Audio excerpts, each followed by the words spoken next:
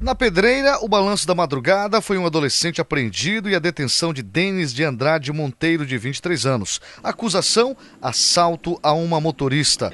O crime aconteceu na Travessa Timbó com a Rua Nova. Na tentativa de esconder o rosto, Denis fez gestos obscenos e tentou agredir nossa equipe de reportagem.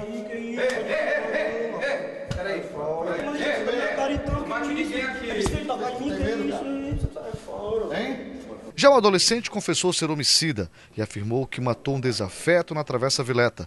Disse que a vítima tentou matá-lo duas vezes, mas ele se antecipou. Como é que começou essa confusão aí? Foi briga. Hein? Briga, ele queria me matar. Queria te matar?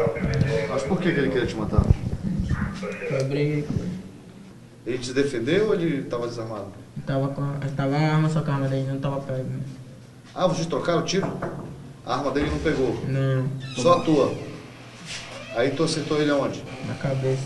A polícia chegou até os acusados logo após chamado do CIOP. A princípio seriam três os acusados, mas apenas os dois foram presos. É apresentado aí ao delegado aí para fazer a, os procedimentos é, cabidos aí, né? Conforme a, a lei, né? Ela entrega o menor aí para o delegado, vai ser encaminhado o dato de menor, o de maior já preso aí aos cuidados do delegado aí de serviço de hoje.